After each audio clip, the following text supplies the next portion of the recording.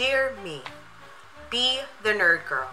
It's who you are. It's your natural personality. You're awkward, you're quirky, you're fun, you have a weird sense of humor, and that's all okay. Stop trying to blend in, stop trying to be invisible. You don't have to make everybody like you because the ones who are meant to will. And that's all that matters. Your true friends will like you no matter what. And they will love the awkward, the quirky, and the weird humor. So be it. Own it. Love it. Be you. The Nerd Girl.